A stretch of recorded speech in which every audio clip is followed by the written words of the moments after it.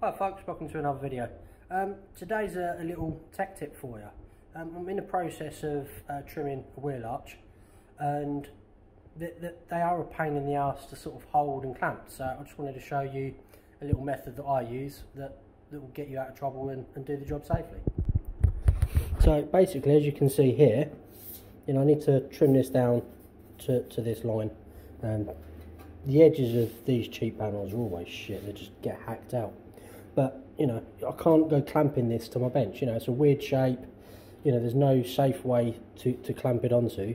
You know it's going to end up damaging it or dinking it or whatever. So you know and I also don't want to be just just holding like one hand and then grinding like in the other because you know it's, it's just dangerous.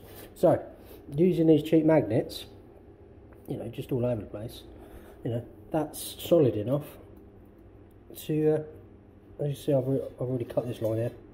And yeah it's solid enough to cut. And the other thing is if you can't quite position these right for me the, these are cheap enough.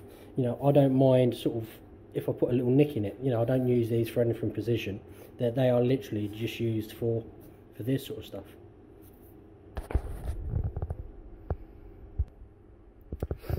So yeah it's a nice quick little tip for you today. Um, if you like this sort of thing um, let me know in the comments or even just drop a comment to say hi. Um, subscribe to the channel.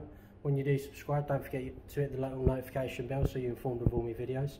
Um, give us a thumbs up, you know, it really does help with the analytics on YouTube. Um, and I'll see you next time. Catch you later. Bye.